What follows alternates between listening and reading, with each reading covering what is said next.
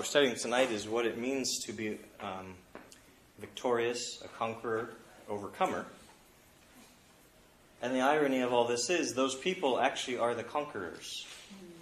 And they're being conquered. What? You know, and that's, that's actually the story of Revelation. That's why the emphasis on persecution is so important, I think. What we're going to be looking at tonight in the sheet I handed out is uh, an indication of that. Uh, we're going to kind of use what Jesus says at the end of his letter to the Ephesians to kind of look at the broader con- concept of the whole letter, the whole vision, which is the conquerors who are the followers of Jesus. So let's review just by reading the chapter again. Keep reading it while we're in it. And I'm hoping again that repetition will be a blessing to you. The first letter is only seven verses, you know, so that part will be review for what we've been looking at so far. The rest is a, a preview of what we'll be getting into, God willing, as we go. All right. Are there two people willing to read this for us? We'll break it up into verses 1 to uh, what? 1 through 11 and then 12 to the end. We'll do that first one. All right, Andrea, do 1 through 11. Will someone take 12 to the end for us? All right, do it. All right, Audrey, take it away. To the angel, we are in chapter 2. Yeah, chapter 2, 1 through 11. To the angel of the church in Ephesus write, These are the words of him who holds the seven stars in his right hand and walks among the seven gold lamps, golden lampstands. Lampstands. I know your deeds, your hard work, and your perseverance I know that you cannot tolerate wicked men, that you have tested those who claim to be apostles but are not, and have found them false. You have persevered and have endured hardships for my name, and have not grown weary. Yet I hold this against you. You have forsaken your first love. Remember the height from which you have fallen. Repent and do the things you did at first. If you do not repent, I will come to you and remove your lampstand from its place. But you have this in your favor you hate the practices of the Nicolaitans, which I also hate. He who has an ear, let him, let him hear what the Spirit says to the churches. To him who overcomes, I will give the right to eat from the tree of life, which is in the paradise of God. To the church, of, to the angel of the church in Smyrna, write, These are the words of him who is the first and the last, who died and came to life again. I know your afflictions and your poverty, yet you are rich. I know the slander of those who say they are Jews and are not, but are a synagogue of Satan. Do not be afraid of what you are about to suffer. I tell you, the devil will put some of you in prison to test you, and you will suffer persecution for ten days. Be faithful even to the point of death, and I will give you the crown of life. He who has an ear, let him hear what the Spirit says to the churches. He who overcomes will not be hurt at all by the second death. To the angel of the church in Pergamum write, These are the words of him who has the sharp, double-edged sword. I know where you live, where Satan has his throne, yet you remain true to my name. You did not renounce your faith in me, not even in the days of Antipas, my faithful witness, who was put to death in your city, where Satan lives. Nevertheless, I have found a few things against you. There are some among you who hold to the teaching of Balaam, who taught Balak to entice the Israelites to sin so that they ate food sacrificed to idols and committed sexual immorality. Likewise, you also have those who hold to the teaching of the Nicolaitans. Repent, therefore. Otherwise, I will soon come to you and will fight against them with the sword of my mouth. Whoever has ears, let them hear what the Spirit says to the churches. To the one who is victorious, I will give some of the hidden manna I will also give that person a white stone with a new name written on it, known only to the one who receives it. To the church of, to the angel of the church in Thyatira write, These are the words of the Son of God, whose eyes are like blazing fire and whose feet are like burnished bronze. I know your deeds, your love and faith, your service and perseverance, and that you are now doing more than you did at first. Nevertheless, I have this against you you tolerate that woman, Jezebel, who calls herself a prophet. By her teaching, she misleads my servants into sexual immorality and the eating of food sacrificed to idols. I have given her time to repent of her immorality, but she is unwilling. So I will cast her on a bed of suffering, and I will make those who commit adultery with her suffer intensely, unless they repent of her ways. I will strike her children dead. Then all the churches will know that I am he who searches hearts and minds, and I will repay each of you according to your deeds. Now I say to the rest of you in Thyatira, to you who do not hold to her teaching and have not learned Satan's so-called secrets, I will not impose any other burdens on you, except to hold on to what you have until I come. To the one who is victorious and does my will to the end, I will give authority over the nations. That one will rule them with an iron scepter and dash them to pieces like pottery, just as I have received authority from my Father. I will also give that one the morning star. Whoever has ears, let them hear what the Spirit says to the churches. Amen. Whew. You know, as we were reading this again, because we've been repeating it over and over, a story came to mind. I'll just share it with you because I don't want to not share it with you. I was reading an email about persecuted church and things, and it's a really cool story that gave me a little, little kick in the pants, a little perspective. And it was a man who serves, um, he helps train pastors in other countries where they don't have seminaries and they don't have resources like that. And so he was teaching them the word. And there's a group of, I don't know how many pastors, probably not a large group, from this area of, of communities. And so he, as he was talking, they would frequently kind of raise their hand and say, I'm sorry, sir, is that your words or is that the Bible's words? And at sometimes he'd be like, okay, those, those are the Bible's words and he'd say something else like, Excuse me, sir, I'm sorry, is that your words or the Bible's words? And he'd say, That's my words. If he said they're the Bible's words, they had a notebook over here and they'd write it down word for word. If he said those are my words, they'd have a separate book and they'd write those words down word for word. So after it's all done, and he, he you know, that kind of makes you feel good, but after it's all done, they had a little exercise between the pastors and the leaders of the churches. And one of the older ones stood up. He seemed like one of the well respected ones. I said, okay, brothers, uh, time to do our, our, I don't know if he said drill or exercise or training or whatever. Uh, he said, what does Micah 10, verse 6 say?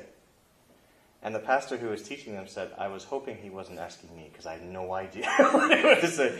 And then the pastor kind of chuckled and said, There's no Micah 10, don't worry about it. No, there's only like seven chapters in Micah. So then he, he threw out a real one.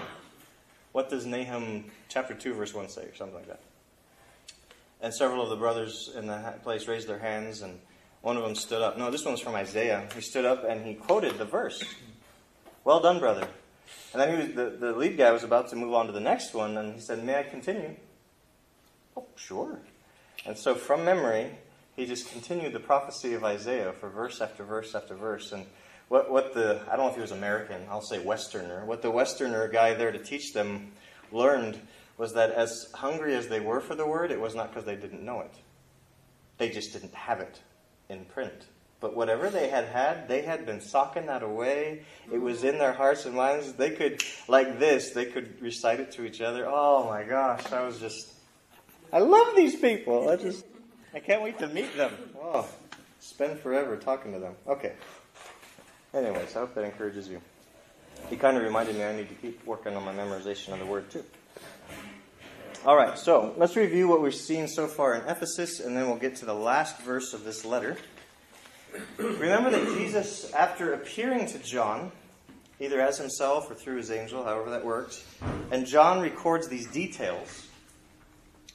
Uh, Jesus had told him ahead of time and reiterates you need to write down what you're seeing and send it to the seven churches in Asia.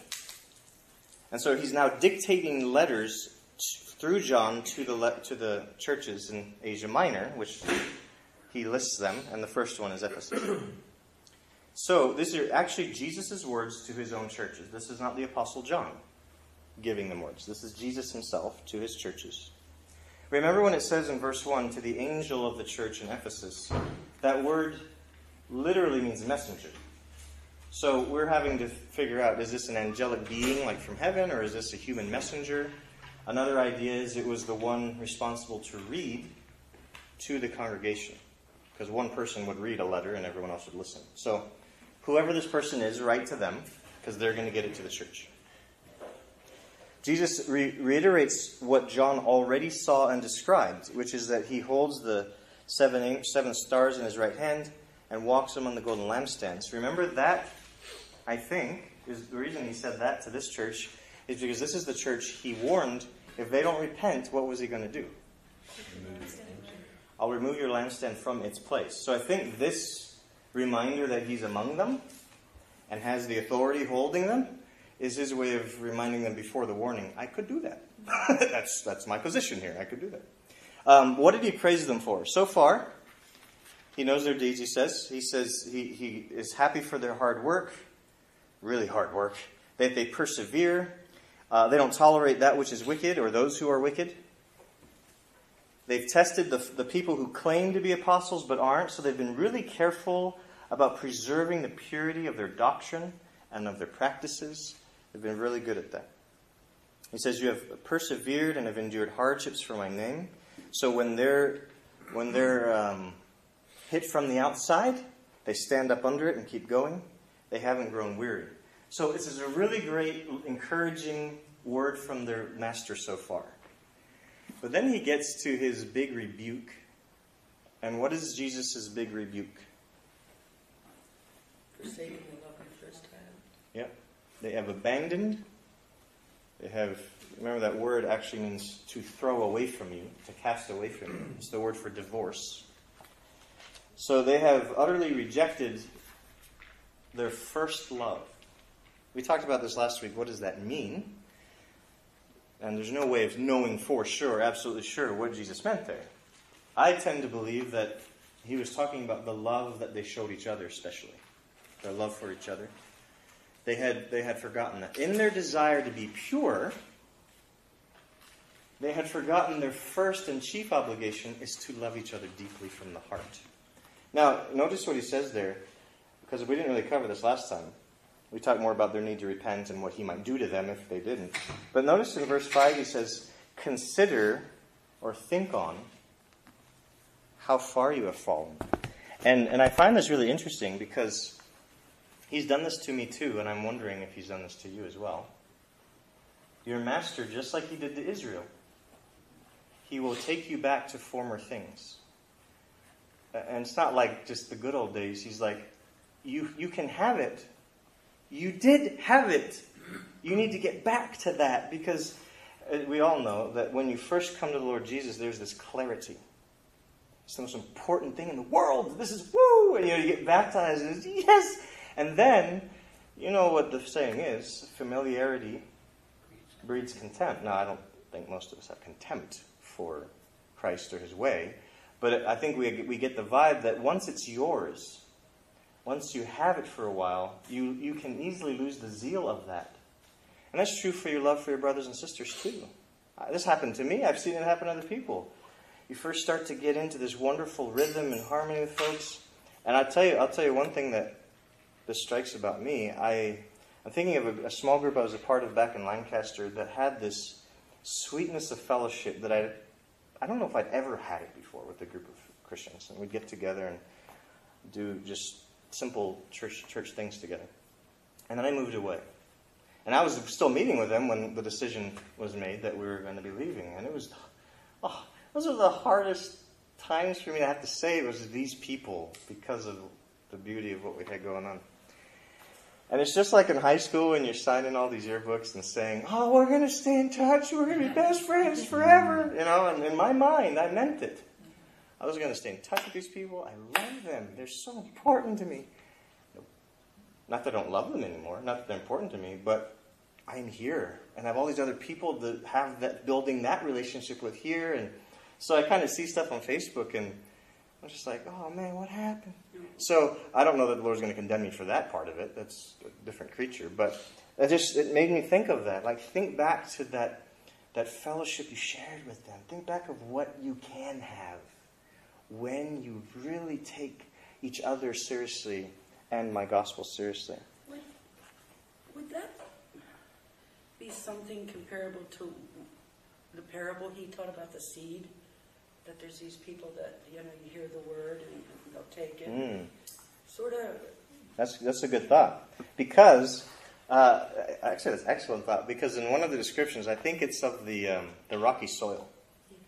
He says that someone receives the message of the kingdom with joy. He says that with joy. You could just picture that. Woohoo, I've got the kingdom. The kingdom's here. Yay. And then when the persecution comes, well, not quite as exciting now. Like, I thought the kingdom meant all yay, and now the kingdom means ouch. I don't know if I want this. So I think that's a great connection you just made there. The joy can easily fade when you start to realize more and more, oh, this is more than I bargained for. Now, uh, again, I think in the case of the Ephesians, it wasn't, they didn't lose it. In that parable, the person just doesn't have the kingdom. I think in their case, they were in danger of losing it because they focused on something good and lost sight of what's best. And the good that they focused on was being pure. And the best that they lost track of was loving. So that's, that's not a hard thing to do. All right, so let's jump into verse 7. I love this so much. And this, um, this first part of it, the first sentence Whoever has ears, let them hear what the Spirit says to the churches. You're going to find this is a part of the pattern through each of the letters. So at the end of every letter, this is the, the first letter, and it's not at the end of the letter, but all the other letters have this at the end, after his promise to the overcomer. Uh, I just want to touch on this, not very long, but I just wanted you to know because so much of what we're seeing in Revelation goes back to the Old Testament. Guess what? This language is very much like the prophetic language to Israel, the concerns of God about how they're listening and hearing. So I just wanted to point out a few of the passages in the Old Testament that have a similar concern about how the people of God are listening. Um, Deuteronomy 29, verse 4. This is Moses in his grand, if you want to call it a sermon, all right? But it's before he goes up and dies and they go into the promised land. This is his last call to the Israelites to be faithful. And he says, To this day, Yahweh has not given you a mind that understands, or eyes that see, or ears that hear. This is a man who has been with a very stubborn group of people for a very long time. He's like, to this day, I'm about to die, y'all, and to this day, you still aren't listening, aren't getting it, you're not seeing it. And so that was happening, of course, and we know that story well. They were so they were so prone to grumbling and complaining and just not obeying God. In Psalm 115, verse 6, this is not people, this is the idols of the land, but he uses similar language. They have ears, but they cannot hear. Again, that's not the humans he's talking about, but it kind of relates to the humans who were worshiping them. In Isaiah chapter 6, verse 10, this is where God is calling Isaiah to serve, right, and to preach to the people. And this is what God told Isaiah Make their ears dull and close their eyes. With their pre- this is chapter 6, verse 10 by announcing my message to them, make their ears dull and close their eyes. What? I thought that was the opposite of what we wanted, Lord. I would be confused if God said that to me. He says, Otherwise, they might see with their eyes, hear with their ears, understand with their hearts, and turn and be healed. This is something Jesus referred to when he explained why he's telling the parables. Because when, and, and this is, I think, I think, partly tongue in cheek on God's part. This is God's commentary on the stubbornness of his people. Isaiah, you know what the effect is going to be if you tell them the truth? It will cause them to close their eyes and shut up their ears because they don't like the truth. Isaiah, that's the problem. You know, and he's kind of getting Isaiah ready for that rejection. In Isaiah 32 3, this is actually a promise of the coming days of the Lord. He says, Then the eyes of those who see will no longer be closed. Just stop there. That's weird. People whose eyes are seeing are supposed to be the eyes that are open. Blind people, you might say, their eyes are closed. How strange that he says, in those days, the eyes of those who see will be opened. I just read a book today, and it, it had a quote by Helen Keller, and it says, How terrible it is to be blind and not see, but how worse yet it is to have eyes and not see. Oh wow, that woman, she blow me away every when time. you just said that, that just seems. I wonder if she was reading, got that from the Bible. Yeah, that's very much like the language we're seeing here. He also said, The ears on that day, the ears of those who hear will listen. And there's more, there's so many more. But I just wanted to give you that, that notion that when Jesus says this to his people, he's very, saying it in a very prophetic way, the way the prophets would have said. Let him who has ears to hear, let him hear it.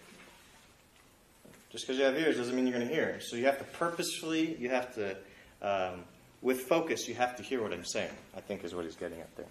By the way, Jesus himself said this whoever has ears, let them hear, multiple times in his earthly ministry while he was teaching the people. He would say that same thing. And why would he say that to the people over and over again?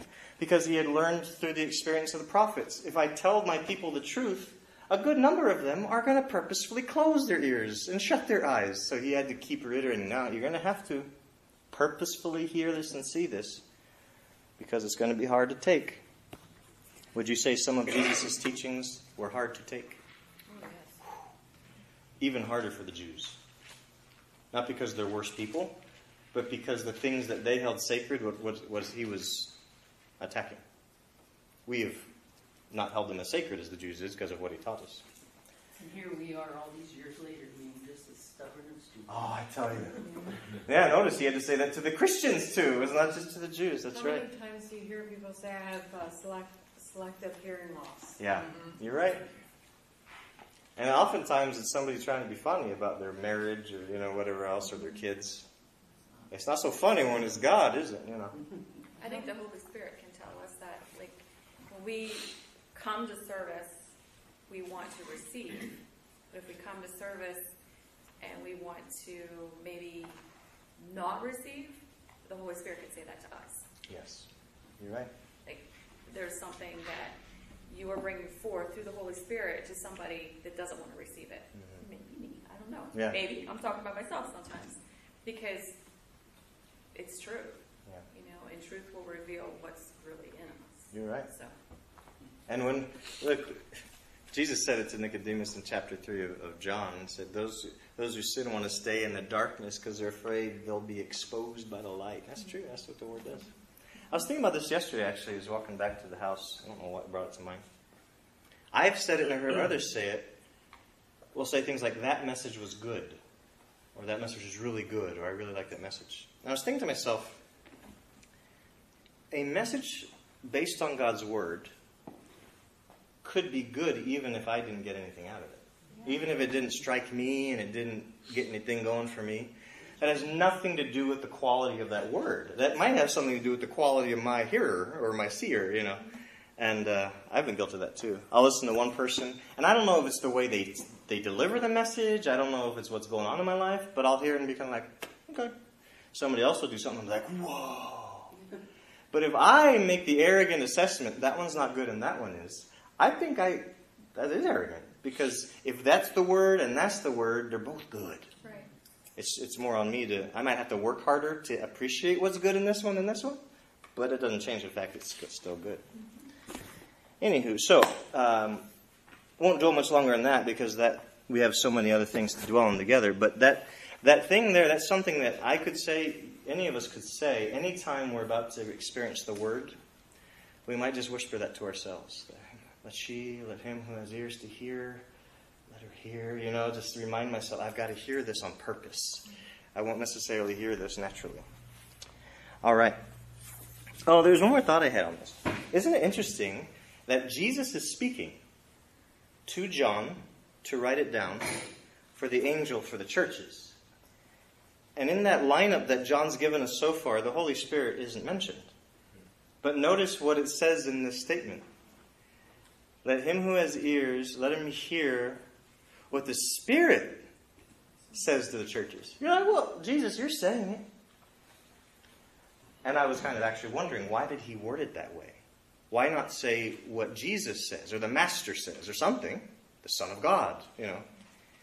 But the more I was thinking about the overall flow of Revelation, um, I was reminded that there's a statement in um, Revelation 19:10. It says, "It is the spirit of prophecy who bears testimony to Jesus. Revelation 19:10. I thought there is such an emphasis on the spirit of prophecy in Revelation. Maybe that's why he chose that. Jesus is speaking to John for the angel of that church, but it's the spirit of prophecy overall that is giving this whole vision to John. The Holy Spirit of prophecy. So, anyways, that's the thought I have. I don't know if that's why. I just thought it odd that he said what the Spirit says to the churches. Let me ask you something. Every one of the churches, you know, the first thing it says is to the angel of the church. Yeah. And you made a statement there a little while ago about who that could be or whatever. I, I just look and I, I have a note here, and I don't know where I got this or who told me this, but it, it I think that the angel of the church is the pastor and minister. Is what I have. Uh, I've got that. I got that from somebody. That's a common teaching, yeah. So that that could and that would make sense to the angel of the church to the angel, you know, to each minister, or each pastor of the church. That could be. Yeah, one of the reasons I don't think that's it is that it, that would be a modern reading of it because in the earliest churches, for the first century especially, there was not a single leader of a church, it was a group of elders leading. That's why that one doesn't ring true for me because it probably would have been plural if that's what he meant. He probably would have said to the elders, meaning or the angels of the church. So that's possible too. That's the thing. We just don't know for sure. But that's one reason I read that as a very common teaching, and uh, it just to me it didn't line up. But I could be wrong. All right. Cecilia, did you have your pen up to say something, or were you just holding your pen? I was just holding. the Okay. pen, I guess. I'm sorry. I never know. Who knows? that Okay. That's all right. Thank you. I just don't want to miss you if you Oh, wanted to say thank something. you.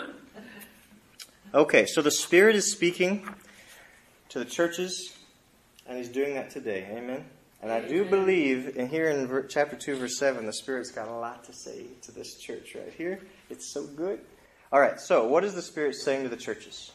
To this church, He says, To the one who is victorious, I will give the right to eat from the tree of life, which is in the paradise of God. That's such a beautiful statement right there. Mm. Now, what I want to do, which is going to take probably the bulk of the time we have left, but I want to look at the idea, and the word in this verse in the NIV is victorious. But on that paper, I, I was trying to just put some things down for you that I found. That the word that the, in, in the Greek that was used there, it's not that you need to know the Greek really, but what the original readers would have been reading was this word nikao, which comes from the root word Nike. Everyone knows the word Nike, right? That's the just do it, the swish. And that is um, a divinity in the Greek, Roman, Greco world. But the word itself means victory. Actually, it means conquest, most precisely. Conquest. So there's actually a militaristic undertone to this word not athletics, though Nike would make you think that. Victory in athletics, you could use it for that, but its its major meaning is not athletic; it's military conquest. Okay, so the more I've looked into this, the more I've preferred to read Jesus' word as to the one who conquers. Now, you can also say overcomes, like the older NIV did, to the one who overcomes. I gave you a breakdown on the bottom of your sheet there by translation, how the translators chose to communicate it. Overcome is a fine word to use. It's used by most of the versions that are. Okay, these are the versions on BibleGateway.com. there's, if there's other ones, I didn't check those. 15 of them use conquer, which again I said I prefer, but, but anyway. 19 of them use victorious, are victorious. Two of them were off on their own, and they use the word win. But again, win you can you can win a prize at, at the arcade at Del Grosso's. You know, the win just is losing something for me if you say win. You also win by cheating. Yeah, that's right. That's true. now again, my, the reason I want to use the word conquer as I'm reading it, and I do that, the reason I use the word conquer throughout these verses I put on this page for you, because that word conquer really brings to mind the militaristic undertone, like none of the other ones do. It's not that the other ones don't fit or bad, but conquer helps me. It just helps me. And the other reason is this as I read the book of uh, Revelation, one of the themes that is so easy to miss, and one of the reasons I need this book so badly as a disciple of Jesus, is it reminds me of the conquest of my master over this dark world. We use the language of Savior appropriately for Jesus. Um, but because of what has gone on in the past, Jesus suffering and dying to save us, it's easy for us to forget the future picture is Jesus will conquer to save us. And we need to have both in our minds. That's what the book of Revelation does for us, probably better than anything, because it pictures him as a lamb who conquers. And by the way, do you know what happened to that lamb? He was a lamb who looks as if he's been slain, but is alive. A slain lamb does not seem like a conquering image to me. You know, like a lamb walks by, you're like, oh, great lamb. No. so he uses this imagery of, of the meek and the humble and gentle that had been killed, which seems like it's been conquered. And yet that exact image is used for the one who conquers. Now I want to give you a little taste of this. Um, it's Revelation 17 14. Will you go there with me? Revelation 17, 14. It is on your paper there. Kind of the paraphrase of it. But I want to look at this. This is so good. Now, who is it that is trying to rise up against the Lamb? It's the powers of earth, backed by the power of Satan. The powers of earth, backed by the power of Satan. That's really the. If, if I was to summarize the antagonist of our story in Revelation, that's it. The powers of earth backed by the power of Satan. So listen to what John saw. We'll start in verse 12. This is uh, in a chapter that's about Babylon, the prostitute on the beast. Okay. So the ten horns that he saw on the beast that the prostitute was riding, the ten horns, back in verse 12. The ten horns you saw are ten kings who have not received the kingdom yet, but who for one hour will receive authority as kings along with the beast. They have one purpose and will give their power and authority to the beast. And the beast has been discussed previously. Now, notice verse 14. They, meaning the kings, who are there to fight the beast, or I'm sorry, who give their power and authority to the beast, they will wage war against. Notice he uses that word, the lamb. What a weird word to use in this context. But the lamb will. Now, what does your tra- uh, translation say next? The lamb will what? Defeat. Overcome, defeat, Triumph. triumph over. Conquer. Okay. And I noticed that about the ESV in several verses, they used that word conquer, which I like. I like that. But however you put it, he, he wins. You know, how to use that weaker word. He defeats them, he conquers. Now, the reason, again, I like that word conquer is that's my master. He's not just. And that's what I think the other words leave me with the impression that he just didn't get beaten. Like they came against him and he withstood the attack. He, he was still standing at the end. That's not what the word conquer makes me think of. The word conquer makes me think he's the one in charge and he's taken over the powers of earth. See, if someone comes against me to take what's mine and I put up a good fight, I wouldn't say I conquered anything. I just didn't let them conquer me. But if I say that I go to conquer something, that means that someone else has something, some terrain, some, some territory. I go into their territory and I take it from them. That's what conquering. That's who our Jesus is, as is shown in the book of Revelation. Do you know why the kings of earth are rallying against the Lamb? Not to take what's his, to protect what's theirs. The kings of earth are trying to stay in power. They're trying to keep the earth under their power that they've enjoyed for this year that, that John sees. And the Lamb is threatening to take it from them because he's the King of kings and Lord of lords. He's, his kingdom and the kingdom of his God is growing in the earth. That's why I like the word conquer. You don't have to use the word, but I just want to make sure we know that's the undertone of that word. So if you're going to see victorious and overcome, beautiful, go for it. But just realize it's not a defensive victory. Phew, survived that attack. phew, overcame that attack. And here's why this is really important to me.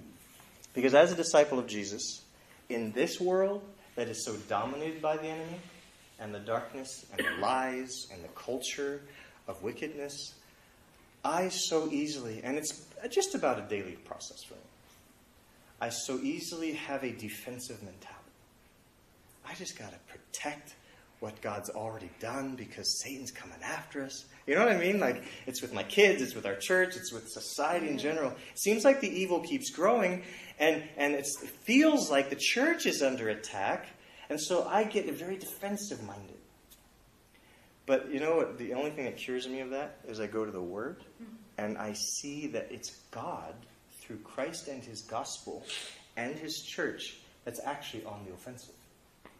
Because who has had dominance in the world since just about the beginning? Satan. It's been sin and Satan. Not the truth. Do you know the one who has the most to lose is the enemy, not Christ? The enemy has so much territory that has already been taken by Christ.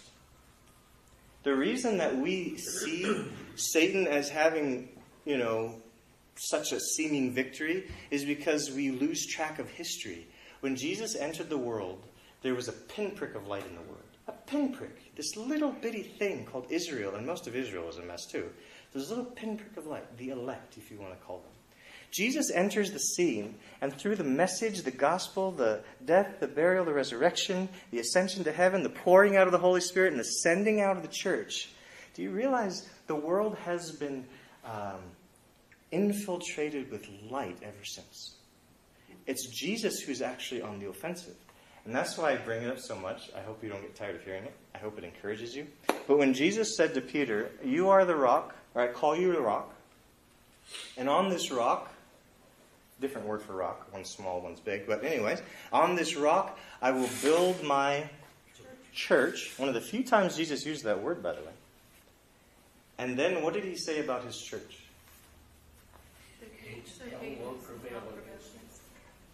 Now, the word there, the, the translations say hell, unfortunately. They ought to say Hades, the place of death. Death. Death will not prevail against my church. Now, it's the gates of death. Remember, I keep saying this because it's it's been taught me so long the other way that I want to just keep fighting the, the other way. The gates are not offensive. Gates are defensive. Gates in an ancient city are the weak spot in the city's walls. And so, of course, if you're going to attack, that's a really good place to go with your battering ram, you know? And the gates, the better your gates, the better your defenses, because that's your weakest spot. So if Jesus says, I'm going to build my church, and the, the, the weak spot in, in death's defenses won't be able to stop you, if I could paraphrase it. His church is going to beat down the gates of death, and death is going to try to keep them out. That's language of offense, of conquest. Jesus has always been on conquest. So that's why I like this word, conquest. It reminds me that we're not here trying to win victories against the attacking enemy. We're going out there, and the enemy's trying to keep what he's got. Well, I Right? never looked at it like that. That's Oh, it changes everything. Changes everything. And I'll be honest with you, that's one reason why I don't act more offensive against the enemy. Because I don't think that way. I'm just like, back up, enemy. And guess, guess where that really fits is the church in Ephesus. They're really defensive against false teaching, and it was good. Awesome. Keep that all out. But the love that they lacked was not allowing them, probably, to take the gospel much further. Because they're it's behind their walls, keeping the bad stuff out. So do we as a church even, even today, Are we all really just kind of holding our ground rather than going out to actually? Exactly. Yeah, that's right. I, I don't think I was trained to when do we that. don't go against the things that are wrong Yeah. and, What, you were going to say something, I was just going to say something about fear. Yeah. You know, but the perfect love of Christ cast out fear. So, I mean, I'm sure they had a fear that they were protecting, you know, everything on the inside. hmm So, was that like a driving force for them, other than wanting, definitely wanting to do the right thing? Yeah. That could be. I can easily see that happening to a group of people. And so, like you said, you know, as far as us not standing up for what we need to, is there, there is a fear in that. Mm-hmm. You could list a lot of different things, the reason why there's fear. So, just a thought. Yeah. Are we confusing humility with fear? I think is, is part of the problem. Yeah, timidity is not the same as humility, you're right. Yeah, because Jesus, the great conqueror, he said of himself, what? Take my yoke upon you and learn from me, for I am gentle and humble in heart. Jesus knew he was humble. He had to be, or else all of this was lost, you know. But he was certainly not timid. You know, oh gosh, this story. Talk about conqueror. Okay, so Jesus lands on the shore with his disciples because they crossed over, and it's getting dark. Okay, it's dusk time. The whole story is really creepy. Anyways, but uh, if you were to portray this in a movie, you could do a really good job of freaking people out. So it's getting dark. They're on the water, and they land on the shore near near a graveyard, a cemetery. And do you remember who was in the cemetery when they arrived? It was a demon possessed man with a legion of demons in him. And this person is described as being so powerful and out of control that the townspeople nearby, because he was kind of a danger, they tried to chain him to keep him under guard because you can't let this man wander around. Well, the demons in him gave him such an extraordinary physical strength that he would just tear the chains off. And so now I'm picturing he's got these chain remnants left on him because the part that he tore off was in the in the wall or whatever. So he's just got these chains hanging off him. I'm guessing he looks really disheveled and gross. His nails and whatever are growing. Was he His- cutting himself too? Yes, he's cutting himself good. He's cut. He's bloody. You know this whole thing. So Jesus and his men land on the other side of the shore. It's supposed to be a time of quiet, of rest, time to wind down. And as as he's stepping onto the shore, what happens? But this maniac from the cemetery, who looks all nasty, comes running at him. And by the way, if I was one of the disciples who saw this guy running at me, I'd be like, Master, please step into the boat. It's time to find another location, you know? I'm sure the disciples are really freaking out as they see this in the dark coming at them. But Jesus stands steady, stands his ground steady. And when the demon possessed man, with an army of demons in him, gets to Jesus, do you remember what he did? Cast them Said, into come out of him. No, no, no. What did he physically do when he got to Jesus? He fell down on his face. okay, the demon had the upper hand, okay, because he's running at them and he's got supernatural physical strength. And yet, the demons had enough spiritual insight to know that if you get to Jesus, you have to fall down and beg for mercy. That's the man we follow. Even though he's in his physical, human, mortal garb, you know, of flesh, the demons had enough spiritual vision to see you got to bow down and beg some mercy from this man. So, the beauty of that story to me, besides the creepiness, is that Jesus had invaded this demon's territory. And the demon couldn't do anything about it. The best he could do was ask, Could I have the favor of killing some pigs on my way out? You know, oh, this is who we're, who we're, who we're following here. So, when Jesus says, To the one who conquers, if I may use that word here, to the one who conquers, what he is getting at is that those who follow him are on his conquest with him. And that's why, to me, discipleship has made such a big difference because I see myself on the move with Jesus, not just holding on to his coattails on my way to heaven, but I'm, I'm, I'm in a, a mission with him. In this world as it is, he wants to get something done, which is conquer, and he's enlisted me to do it. I would say this there are some people who have the right idea, but the wrong way to do it. And this is why sometimes the church has been seen as so forceful in different realms that our forcefulness isn't necessarily supposed to be in everything political and everything all that. We ought to have a presence there because God's word needs to be heard in the political realm as well. But a lot of times we're, we're known for the things that we rail against in public. We need to have a voice, like I say, but we don't need to be railing, you know. We don't need to be yelling at anybody. But that's not even the, the conquest we're supposed to have. We're not, look at the earliest church. Did the early church have political conquest of any kind? Mm-hmm. No. You know, the only reason that Christianity overcame the empire was because the emperor saw a vision in heaven, not because Christians had enough weapons to threaten him. The, Christians never really were known for taking up weapons to try to get their way. They didn't. They couldn't go to the ballot box. That was not an option, you know. But there was never this forceful, "you you better do it our way" or anything. We're going to force you to do it our way. You know how the Christians conquered? They kept showing this indescribable and hard to explain kind of love. And it really baffled the nations around them, the peoples. They thought they were weird and ridiculed them, but on the other hand, they really respected them and were drawn to something about them. This group of Christians was, uh, this is recorded for us. I don't know who did it, but there's a story of the ancient Roman Empire.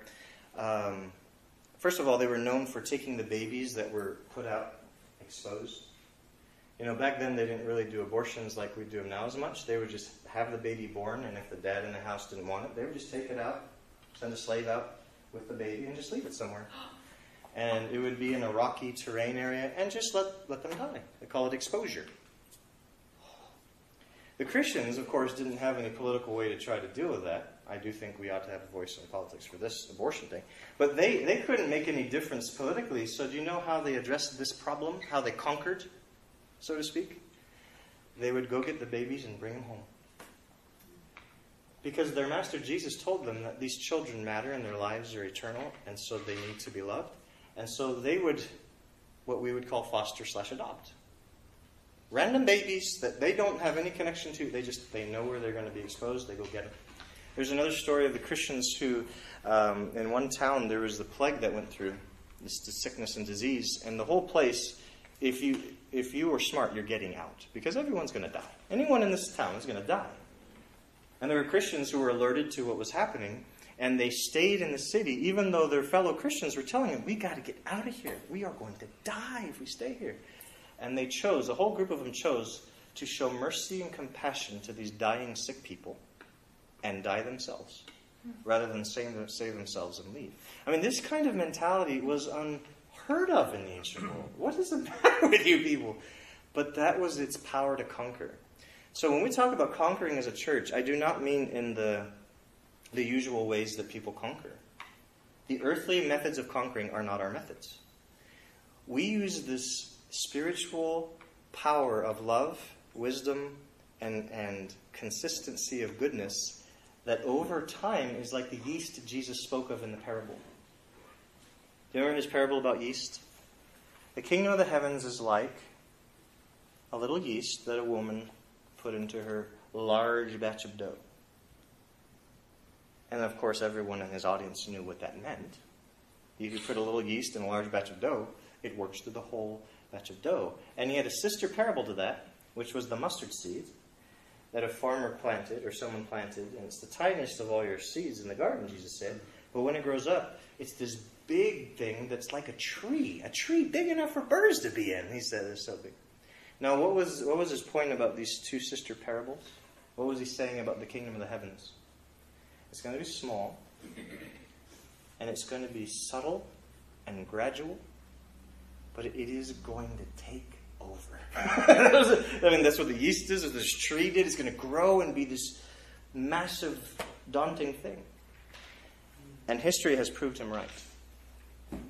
No one could have guessed that starting with Jesus and the little band of disciples, 120, we'll say, after he came back to life, who would have guessed it would be the largest I'm not saying everyone in this number is legit, but this is the largest subscribed religion in the world by a long shot. It's in almost every country, every culture, every language has this knowledge of Christ and has people redeemed by the Lamb. You know, oh. In fact, if I could take you uh, to a vision in heaven, I need to find it because there's several visions of heaven, and I have to figure out which one I'm looking for here. Sorry. Um, I could just tell it to you, but it's so much better to see it. Let me see. Ah, my memory fails. Okay, to save time, can I just tell you? I'm sure you're familiar with it. But uh, several times John has a vision of heaven and people in heaven and the worship of God and all that. And in one of the visions, he says, uh, he saw around the throne of God people from every, do you know? Every tribe, tongue, nation, and people. 7 verse 9.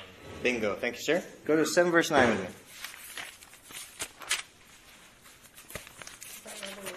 Yeah, Revelation 7 9. Look at that. I love it.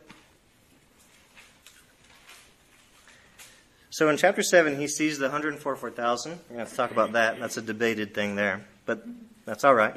Get to verse 9, yeah. After this, after that thing about the 144,000, I looked, and there before me was a multitude that no one could count. Do you see the conquest here? Jesus' kingdom has absorbed countless people. You consider how many people were actually in the kingdom when he showed up on the scene? That is conquest. Like, there's no doubt about it. From every nation, tribe, people, and language, which is to say, the whole world was touched by his kingdom. In his way, he conquered the world, meaning his kingdom spread to every part of the world. What were they doing?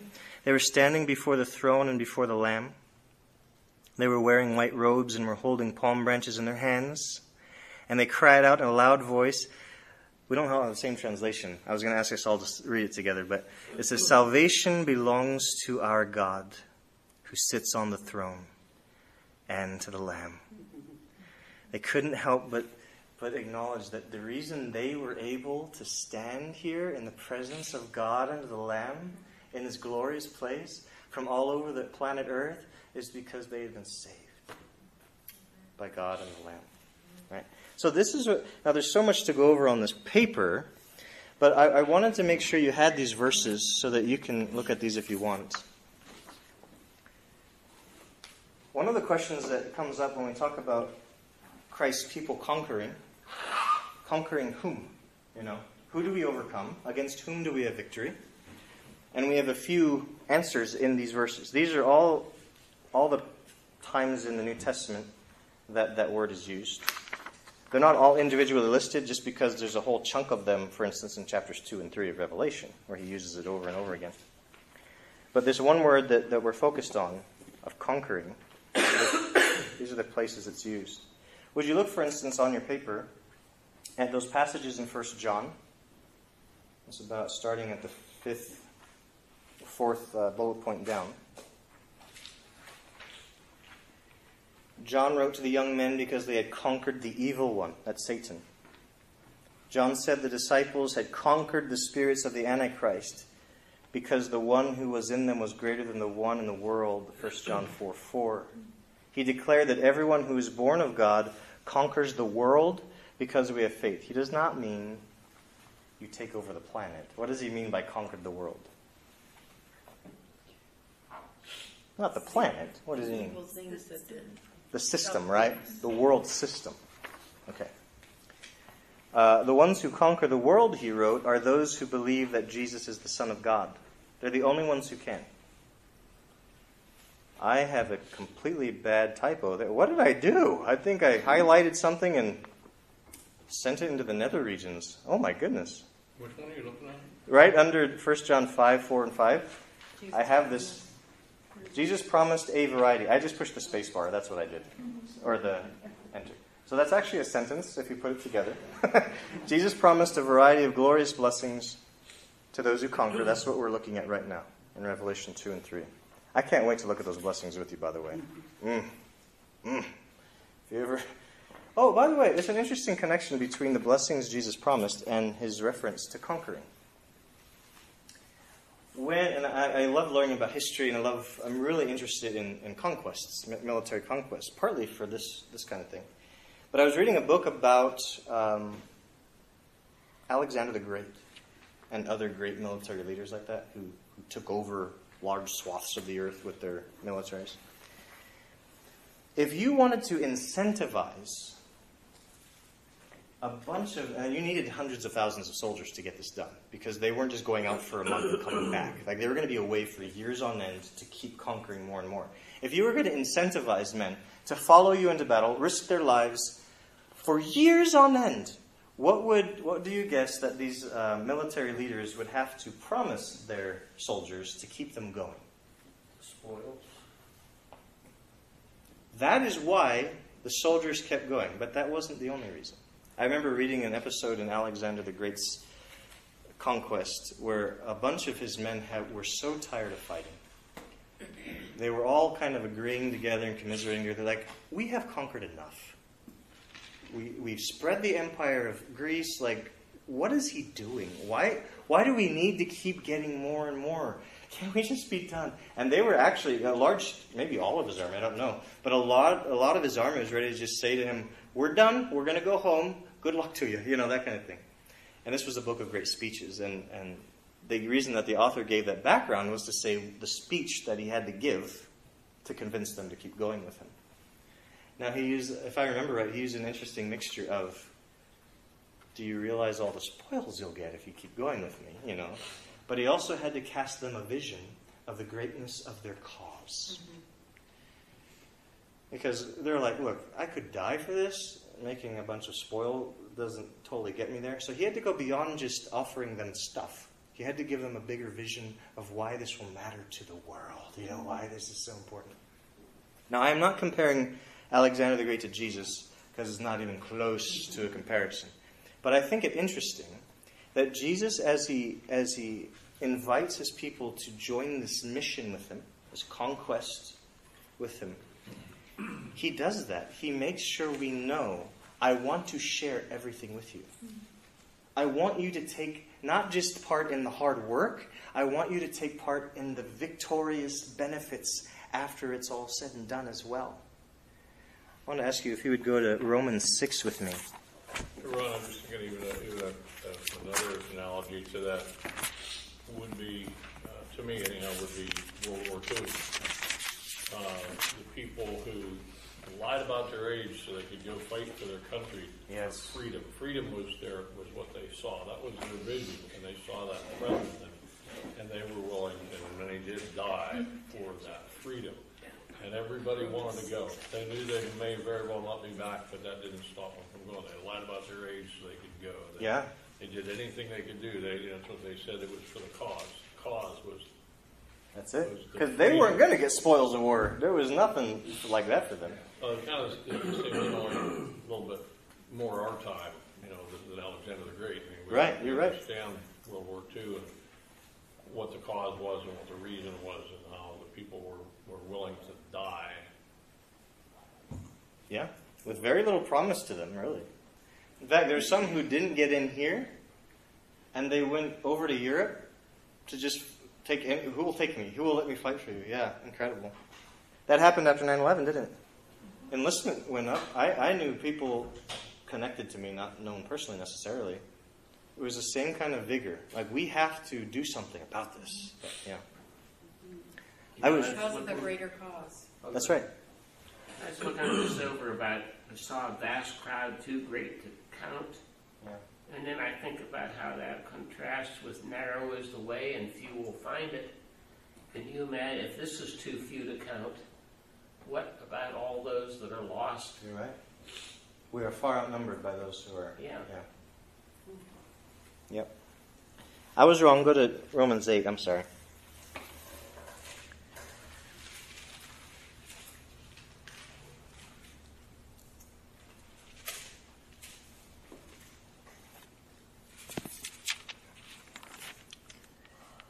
All right. So if you'll go to chapter 8, verse 18. Actually, start, start back earlier than that. Verse 17. So Romans 8:17. Now, if we are children, then we are heirs. Heirs of God and co-heirs with Christ. Now, notice what he says after that. What's the if here? There's a lot of ifs in the Bible that I don't really like. I know they're right and good, and so I have to get that figured out. But when you first encounter them, like, oh man, it was so good until the if. What does he say? We're heirs of God and co-heirs of Christ if. Share in the glory, get the share in the suffering. There it is.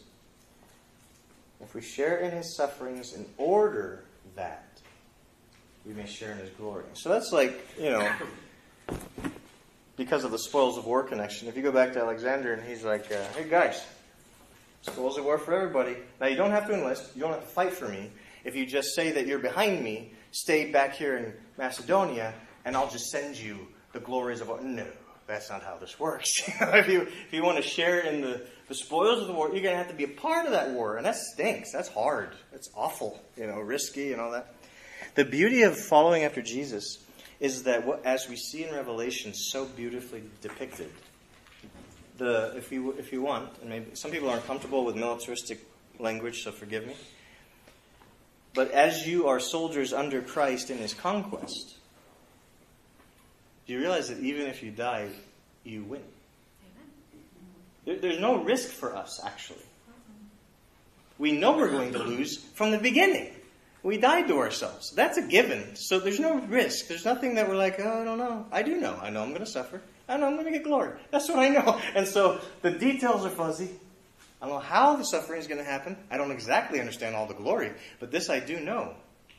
Even if I die, and this is something that we're going to see in Revelation,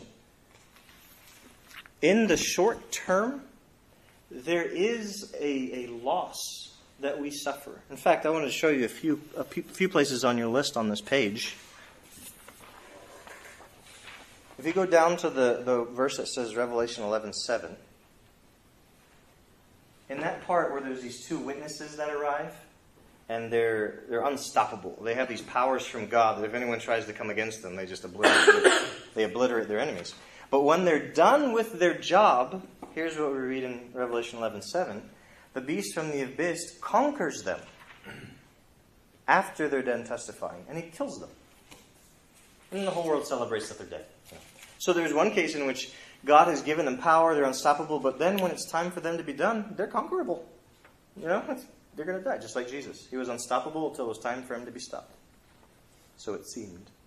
And then uh, look at that one underneath that says Revelation 13 7. it says very specifically that this beast that comes out of the sea, which most of us would connect to the Antichrist, he was given power to conquer God's holy people. He actually defeats them. He does kill them. He does round them up. He does put them in jail. He does all that stuff. And he seems like he's winning. And he goes, Well, if we're the great conquerors with the great conqueror Jesus, why do we keep dying? Why is that happening that these people, uh, what was it, Mozambique, why is it that they're being slaughtered and their places are burned and they're having to run? That doesn't seem very conquering to me. The way that they're conquering is by being faithful to the gospel, by loving their enemies, by doing everything Jesus said and did to do. And as they do that, Satan's power diminishes. Because you realize people will fall in love with Jesus and want to give their allegiance to him, not because you put a sword to their neck or a gun to their head it's because you have painted for them, through your words and life, a picture of reality that they haven't seen anywhere. You've demonstrated something is possible that they never thought was possible. That's the kingdom that has come already, you know. And that's how we conquer. That's why that word has a danger in it if we use it, because the way people hear conquer sounds so aggressive and like, you know. That's not how we mean it as disciples. We mean it the way Jesus demonstrates it faithfulness, steady, loving, humble faithfulness. And the enemies of Christ actually become his disciples. That's how that works. We've talked about it, I'm sure you've heard some of the stories. The ones who are persecuting, torturing, and even killing disciples of Jesus end up becoming disciples of Jesus themselves because they cannot understand how that person kept loving them in the middle of it. I heard one example very specifically where a man was hung upside down by his feet. And you know how sensitive the soles of your feet are. So this was very purposeful and smart and cruel. And they, him hanging there, they had a, a pot of hot oil above him. And I'll let you take it from there. I don't need to gross anyone out. But as this horrible thing's happening to him, and it's about to happen to him, all he said there was no cursing them. There was no pleading for his life. There was none of that. All he said was, Jesus loves you. Mm. Jesus loves you. Jesus loves you. And even if I was given a report from someone who had been there, because I was at a conference for a persecuted church, and he said, even as the, the it was going on, even in the pain of it, that's all the person could say. Oh my goodness. All they're saying. Now, not surprisingly, there's at least one, I might underestimate this, but at least one of the torturers became a disciple of Jesus right after. So you say, well, how do we conquer? Just like that. Because Satan can't hold Satan can't hold that back. There's nothing Satan can do about that. Mm. Because what are his weapons? He can get earthly powers to torture you, to take your family, to burn your house down, to whatever he can do. And if we continue to love and be faithful and stay humble, he can't do anything else. Mm. Do you remember what Jesus said to his apostles? He was about to send them out on their mission while he was still earthly, uh, mortally alive on their short term mission. And he said, Do not fear those. Somebody take it from there. I can kill the Kill the body, but not the soul. Yeah. Who should we fear? God. The one who can send both body and soul into hell, right? Do you remember that? So Jesus knew what he says there holds such a nugget of wisdom. What's the worst the enemy can do to you? Well, he can. Some would say take your life. Others would say hurt my family. I think some would go there. But no matter what the enemy can do to you, it's temporary, and Jesus will undo it. He kills you. He brings you back to life. You know. He takes your family. He reunites you to the family. Jesus is the when when we read before, he holds the keys of death and Hades. That's one of the reasons why that image is so powerful for us. That's why that image allows us to suffer the worst things and keep going. Because we know that if the enemy pulls the biggest trigger he's got, my Jesus is about to undo it. He's got the key. He's got the final revenge, doesn't he? He's got the final word. It's exactly it. That's what this whole book is about. That's why I wanted to hover on the idea of conquest now, because you're going to see it all the way through the book. I just don't want to have this conversation every time. We're going to have it now, so that as we go, you're going to be like, ah, there it is again. I'll just say conquest. You're like, yeah, conquest. Yeah. I talked to a guy today. He was uh, from originally from Poland. He got an accent, very hard to understand. But uh, he came over from Poland quite a few years ago, and uh, he was telling me today the story that they were. We were talking about we were talking about religion. We were talking about. I said most everybody in Poland is, is Catholic. He said ninety nine point nine nine percent. Yeah. Yeah. And I said that I- I've talked to some of those guys because they were so oppressed for so long. You know, they were un- they were under the German control, then under Russia. As he said that when he was young, that the Russians had had control. Mm-hmm. He said you couldn't talk about God, you couldn't talk about your religion, you couldn't talk about anything to anybody because if you did, he said they would kill you. Hmm. And so, and, and he said you couldn't even talk about it to the neighbor's little boy because if he would go home and tell the neighbor, then the neighbor Yeah. would go to the police. The police would come and kill you. Hmm. So you, you it must have it must have been really horrible. Uh, in our this is in our lifetime, and the stuff you're talking about, it's it's happening, and it's always Yes. You know, that's just telling them you can't talk about. it. He came to the United States and. Yeah. You can say just about anything you want. Yeah. Such a such a different world. Now, in the, in the little time we have left, because I want, I'm hoping to get to the letter to Smyrna next time, uh, I just want to encourage you with the promise Jesus made. I'm not going to encourage you. The Lord was going to encourage us, but I want to talk about it with you. What did He promise here back in chapter 2, verse 7? What did He promise to those who are conquerors, or those who are victorious, or those who overcome? Give us the crown of life. Well, this is in verse 7. He says, I will give the right to eat. From what? First of all, he said, I will give the right. What does that say about him? If he can give anyone the right to eat from the tree of life. Now, just, we don't have a lot of time, but just to review, where's the, where's the first time we see the tree of life appear in the grand story? This is Genesis chapter 3. 2. Genesis chapter 2. We have a description of an actual garden. By the way, it says um, the tree of life that is in the paradise of God. I didn't know this before, but the word paradise comes from a Persian word that sounds like that, and what it meant was a walled in or an enclosed garden. So just the word paradise, if you want to be technical, it just means a garden, a walled in park. Even that was a word that was used, a walled in park. So, you know, back in Persia, if you said, oh, what a lovely paradise, you didn't mean a place where everything's perfect and no one ever dies. What he meant was, oh, I like your enclosed park. Okay. Now, what the Jews did, when they translated their Old Testament into Greek, because the Greeks kind of borrowed this word from the Persians, what the Jews did was take the word paradise and make it very exclusive to the garden of God. They made it a sacred word. They used a different word for any old garden, any old park. So we have the Jews to thank for making this word have so much punch to it. Because if you say, oh, this place is a paradise, you, you, don't mean to say, oh, look, there's walls around your garden. You know, we mean, we mean to say something about its perfection or its just amazing beauty or something like that. Anyways, that's kind of a small point here. The bigger point is that in the book of Genesis, chapter 2, what we find out about the tree of life is that God put it where? Where did He put it in the garden? You remember? Right in the middle. Yeah, right in the center. But it wasn't alone. What was the other one? In the center. Truth, truth, truth, and knowledge. Or Knowledge Knowledge of good and good and evil. evil. Now, God didn't. Uh, we don't have any record of God saying anything to them about eating from the tree of life. We have no record of that. We do have a record of God saying, "Now, don't you eat from the tree of knowledge of good and evil, because the day you eat from that tree, you're going to die." That's what He told them. So they had this choice constantly in front of them, because they were in, they were inhabiting the garden. They were caring for it. That was their place.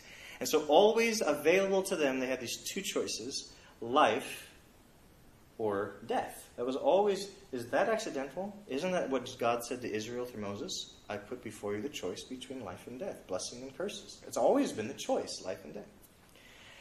Well, when they ate from it, this is in chapter 3 now, we learn something about the tree we didn't know for sure before.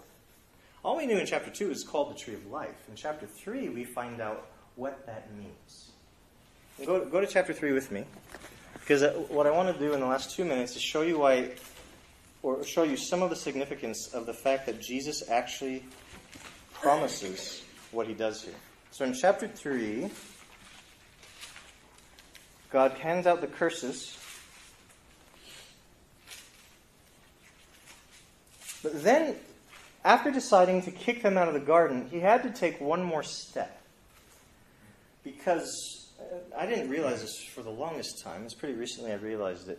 If you think about it, if God let these fallen, corrupted creatures eat from the tree of life and enjoy its benefits, that would have been a huge disaster for his world.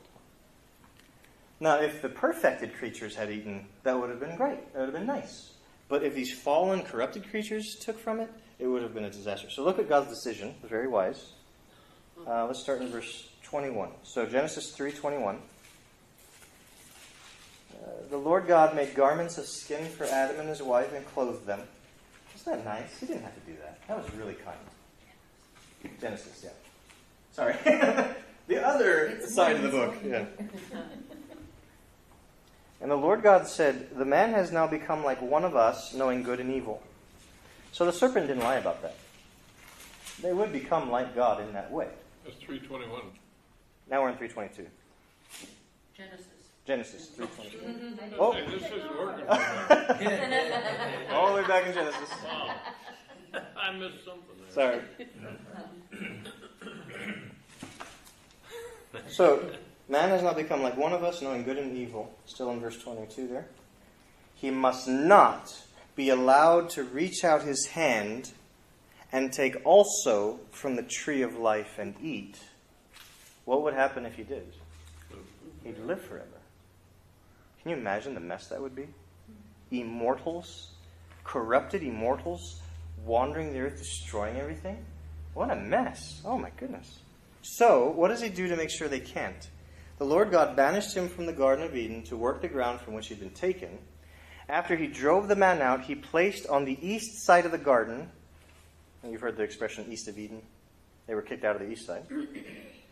He placed on the east side of the Garden of Eden cherubim And get this, like cherubim aren't enough, like that, they could do the job. But notice he puts a flaming sword there, flashing back and forth. What is the job of the cherubim and the sword? Life. Not to keep them out of the garden, even, to keep them away from the tree. The tree is what cannot be consumed by corrupted people. Can't have it. It's going to be a disaster. So, so if you think on this with me, if God cannot tolerate corrupted, defiled people from taking hold of the tree of life because then they will live forever in the corrupted, defiled state, what does that say to us? If Jesus says to those who conquer or triumph or overcome or are victorious, I will give the right to eat from the tree of life that is in the paradise of God. Mm-hmm. Oh my goodness. The cycle is closed. What that is is a statement that your corruption and defilement will be over, totally gone. I can entrust eternal life to you now. And that's something that I had to really have a switch in my thinking because I, like a lot of people, like, why doesn't God just let everyone live forever? I don't get it. What, isn't that good? Why, why would eternal damnation be better than eternal life? And over time, and it took so long and so much listening to people that are smarter than me, and finally clicked because he is smart. Because he gets it. Of course, only certain people should have access to a gift like eternal life because they're going to be around forever. That's a really big deal, you know. You could kind of compare So- that to the, uh, if, if that was allowed, it's like vampires. You're right. Yep. The destructive and selfish, and yeah, there goes the, the paradise of God. Amazing. There it goes. It's gone now. You know. So, uh, just one more thing, because I know we're out of time, but I just want to give you a quick, quick look at this. The past picture of paradise, or the Garden of God, was that Eden. Now, Eden, by the way, is, is uh, not the garden itself, it's the area the garden was in. Eden was like a, a region. So the garden was in that region. That's why it's called the Garden of Eden. It's the garden in, in Eden. Anyway, we do not know what happens to that after the third chapter. We have no idea what happens to it, but it's not there anymore. So I don't know. And, and this is what Jews would think a lot about. Did God take it and put it somewhere else? Did it get swallowed up into the earth? Like, what happened? It's like the Ark of the Covenant. What happened to that thing? All I know is it's gone. So the Jews speculated, and the Christians picked this up as well. Where did God put that? You know, some thought it was in the far east, in the far north, in the northwest. They had all these guesses. Some thought it was on the mountain that reaches highest to heaven. God must have put it up there somewhere because they're so sacred and beautiful. We have no idea. The Scriptures don't tell us. But we do have this reference from Jesus uh, to a thief on, or we say thief. He was probably more like a rebel, a murdering rebel on a cross. Do you remember what he said to the the criminal dying next to him that said, Jesus, remember me when you enter your kingdom. Today you'll be with me in paradise. He uses that word. That's the word that Jews especially reserved for the garden of God. So we know what he meant. Garden of God. Right? What did he mean? Now, we don't know for sure from the text because he just took it for granted. The guy knew what he meant and he knew what he meant and the readers know what we meant. But I'm putting I'm trying to put this together that when Jesus told the story of Lazarus and the rich man, Lazarus, who was righteous, when he died, the angels carried him to the bosom of Abraham, which was a place in Sheol, place of the dead. Now, Jesus, before his resurrection, he had to go down there too, right? He descended just because he's human and he's got to go where humans go when they die. So, I'm trying to put two and two together, and I'm not the only one. I'm not this smart. I'm trying to put the pieces together, and it seems true that the paradise of God in the interim period was where the righteous would be in their death, waiting. But see, Jesus made a fundamental change to things when he died and rose again and went back to Father. So to this day, the righteous no longer have to go to Sheol, a better part of Sheol, mind you, in Abraham's bosom. They don't go down to the place of death anymore. Where do the righteous of God now go when they die? To heaven itself. It seems that the paradise of God was trans, or, uh, transplanted from the place of where dead people went to paradise, And now, when you get to the end of Revelation, spoiler, sorry, when you get to the end of Revelation, guess what the paradise of God is, is described as being? It's the new Jerusalem, the city of God, coming down to the new earth. And how do we know it's the paradise of God? Because it's got the river of life flowing from the throne, and guess what's growing along both sides of the river? The single tree of life is growing on two sides of the river. Figure that one out. And I was so excited to get there. But guess what happens when people eat? Because Jesus gives them the right. When they eat from the tree of life, it says it's for the healing of the nations. It brings restoration, not just longevity of life, fullness of life. This tree just symbolizes every good and eternal thing God wants for his creation. Oh my gosh. So Jesus said, Hey, stick with me. Even when it hurts, even when it's hard, stick with me. If you do, you'll win with me. And when we win together and conquer all this stuff, I'm going to give you access to the tree of life that has been forbidden since the beginning. Whoa. And we get to be together forever in that place. So, that one sentence to me, hmm, that's something to take home with you. Chew on it. When the enemy comes against you, you're like, no, but look what Jesus promised. when temptation you promises this, you're like, yeah, but look what Jesus promised. like, no matter what you're offered in the old system, you've got something better that your master promised you. And this is just the first of the seven great Can I promises. something in reference to what I read to everybody about the persecution? Yes, please. I just found the scripture in Romans chapter 8. It says, Who shall separate us from the love of Christ? Shall tribulation or distress or persecution or famine or nakedness or danger or sword? As it is written, For your sake we are being killed all the day long. We are regarded as sheep to be slaughtered. Now, no, in all these things we are more than conquerors. Ah, through perfect. him Oh, my gosh. us. For I am sure that Mm. neither death, nor life, nor angels, nor rulers, nor things present, nor things to come, nor powers, nor height, nor depth, nor anything else in all creation will be able to separate us from the love of God in Christ Jesus our Lord. Mm. That's a perfect way to end this. How can people being led to the slaughter be more than conquerors? That's how. Just like Jesus. All right. Well, I hope you're encouraged.